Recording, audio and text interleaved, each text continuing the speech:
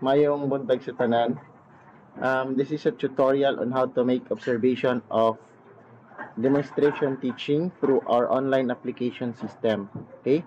So, first, you need to have an assessor account and log into application.deepedagusandelsur.org. So, once we log into our um, system, you will see on your dashboard um, the list of applicants, official applications. Ang naka-default din ha kay Kinder. So basically, mao ni siya nga button ang Kinder. But if um, you are an assessor or um, an assessor or evaluator for the demonstration teaching, just go to the demonstration materials. For example, if you are an assessor sa elementary, all you need to do is to click the elementary um, tab okay on your left left pane okay? So once you're there naatay title din ha nga demo materials of elementary applicants okay? So sa taas natay mga score sheets. All you need to do is to just click this one to download our score sheets uh, basically ang score sheet nato din ha is specialized training. And then because um, daghan man mo mag uh, observe or mag-evaluate sa ilahang lesson plans ano sa ilahang skills demonstration or specialized training so napud tay form din ha for specialized training consolidation. So basically ang uh, kato inyuhang gi um, score sa inyong specialized training, inyo itong i-consolidate and then and that will be submitted to the secretariat. Okay? So, ang among dawaton is katong specialized training consolidation which is this one. Um, ma-download man ninyo siya. So, kani ang amo ang kuan dawaton sa secretariat na dinha ang presentation of certificate 5 points and demonstration of skill 5 points. Sa ubos na ay name and signature of the assessors. So this one on top plus ang katong individual dayon ninyo na score sheets. Uh, mao to ang isubmit sa secretariat okay? So for example if na ako sa elementary kani na-add diri sa column nato na lesson plan, teaching demo, skill certificate, and skill demo. Kaning lesson plan o teaching demo, mao ni siya ang nag-comprise sa demonstration teaching na um, pila man to ka points ang demonstration teaching. I think that is 15, 15 points. And then, ang skill certificate o skill demo, mo ni nag-comprise sa specialized training. So, for example, kung nag-observe ka sa or nag-evaluate ka sa um, specialized training um, and then ang imong subject is for example um, English um, pwede nimo siya i-type diri sa search nato English. So that tanang English mugawas dayon diri ang mga English. So dara English. So all you need to do is to click the button, appropriate button kung mag-observe mo. For example, let's try to evaluate or observe the specialized training. So, dito mo anhi sa skill certificate. And then, skill demo. So, for example, when I open the skill certificate, it will open another tab. So, mo ni ang iyang tab na siya um, certificate So, automatic na siya nga naa siya 5 points. Mao na inyong ibutang dito sa inyong um, score sheets. So, na siya 5 dere. Of course, inyong i-enter yung application number, name of applicant, unsa siya nga group, and then unsa nga subject. And then, kung naman siya certificate na present, automatic siya nga 5 points. So, after after ana, naman siya 5 points, mo view na pud ka sa iyahang demonstration skill kani skill demonstration so when you click this one makita nimo ang iyahang makita nimo ang iyahang video. So kung nanay video, um, all you need to do is just click the play button.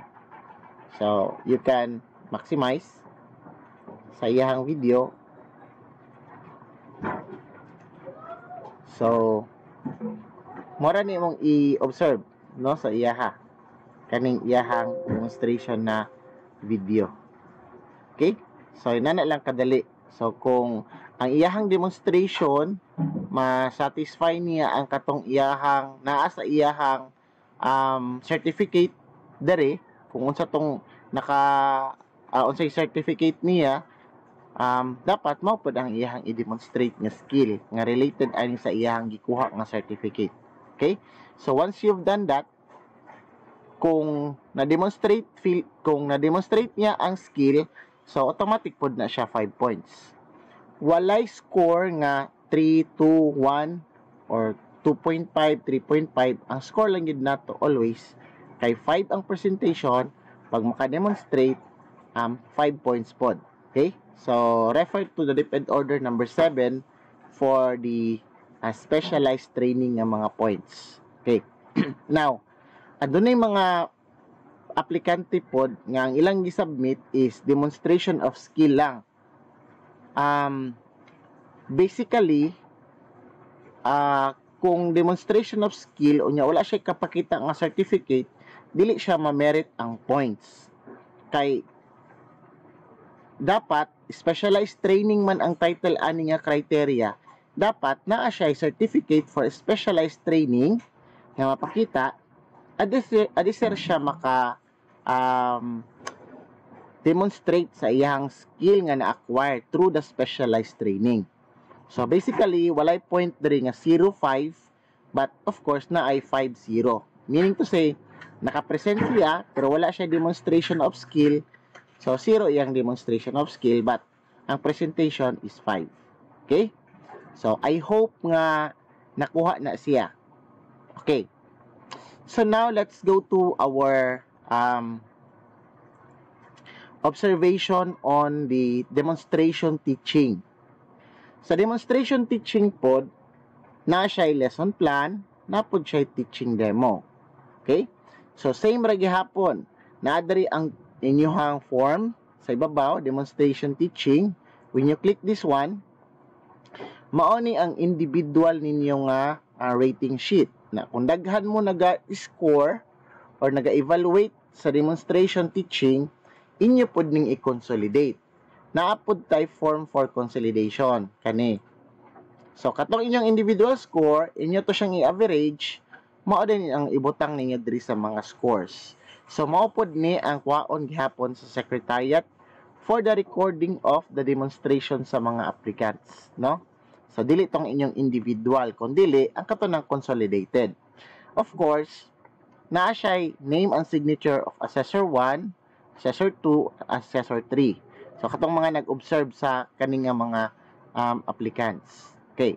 So, now, kung saan pag-observe, we recommend nga dili mo magamit og phone kay kung phone siya um, dili man ninyo siya makapture um, basically gamay makaayo ang phone so we recommend nga magamit mo og laptop or baka ha desktop. So all you need to do is to click the lesson plan. Mugawas man ang lesson plan niya. Okay? So na ay lesson plan nga nga makita ninyo. And then napod siya demonstration teaching o katong video na niya kay um gi ato ra gipa-upload sa ila ang ilahang video. So for example, naman siya demonstration video, napod siya lesson plan. All you need to do kung um, maglisod mo o um, jump from lesson plan to video, uh, basically, click lang man mo ang lesson plan and then video. So, pwede po din mo siya itapad. Meaning to say, hindi mo siyang i-minimize. Butan mo diya sa uh, left ang video. And then, for the kuan, for the tawag ini for the lesson plan tawag to na tong lesson plan niya imong itapad pud sa PCAS so gi-split lang nato ang screen into two so that mag-play mo og iyahang lesson plan. Good morning, teacher. Can uh, arrange your chairs and pick up some pieces of paper under your Okay, so that when you play the video, masundan ninyo iyahang lesson plan. Kay ma-scroll man ninyo ang lesson plan niya samtang nag-play ang iyahang video. Okay? So, once you're done with this, balik mo dito sa kuan kani ah ato ang sheets mo to inyong i-score dere. Ang atong reference ani is ang ato ang um, Depend Order number 7 series of 2015. So naa dito ang iyang score. Ang scoring na to ani sa kada um, criteria niya is 4 points. For the lesson planning and preparation, na na siya mga sub nga mga components, uh, ang scoring niya is 4 points. So, kung masam ninyo siya ng mga 4 points, ang total ani niya is 60 points. But ang percentage na to sa to ang demonstration teaching as an overall score is 15 man. So that is why we multiply it by uh, 0.15 and then times 100. So that makuha na to ang iyahang percentage score. Okay? So katong score dere mo na to ang iyahang score for the demonstration teaching. So inana lang kadali, dali ra kayo ang pagkuha na to. Um, if you have questions, um, please um, ask sa GC or i-PM lang ko. Basically, ang tanawon kung ang inyong um, task is to demonstrate kanilang dire, kani nga area dire inyong tanawon kung mag-demonstrate. Kung sa interview pod katong mag-interview, dire pod ang tanawon sa mag-interview. So when you click this one, kung mag-interview, naa po dire ilang mga contact numbers. Okay? So naay contact numbers nila unya by district man mo katong sa mag-interview. Naa po dire ang inyuhang sheets for the interview. Okay? So kung sa interview ka nga na-assign, i-click nimo ang interview nga button or katong form niya na criteria nato din ha nga teaching ability 5 points classroom management 5 points school fit 5 points and then ang total niya kay 10% raman sa overall at uh, 10 points raman sa overall scoring na to ang um, interview so we multiply it by uh, the, the total number of score divided by uh, the total um, tawag ini scores nga dapat makuha niya perfect times 10% and then i-multiply by 100 mo na iyang score. Okay? Sa pagkahuman ninyo ani, name of rater, signature, and date, i-consolidate gihapon ninyo ni kay daghan man mo mag-interview, subjective man. So, posible nga ang iyahang um, pag kuan pag-rate sa isa ka aplikante is different from sa imuhang pag-rate. So, mo na inyong i-consolidate, gamiton to ninyo ang form nga interview conso.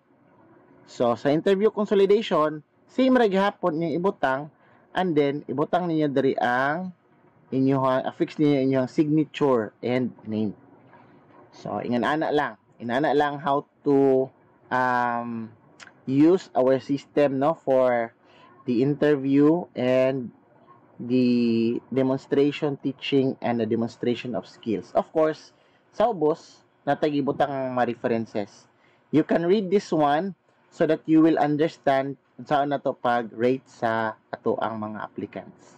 Okay?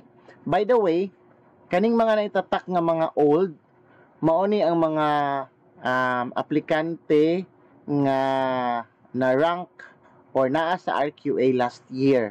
Okay? So, indicator ni siya nga kana nga aplikante uh, RQA na siya last year. Okay? So, if you have, again, if you have questions, please do um, send a message sa ato ang GC um, para ma tubag na to ang inyong mga queries. Okay? So, thank you and um, once again, mayong buntag.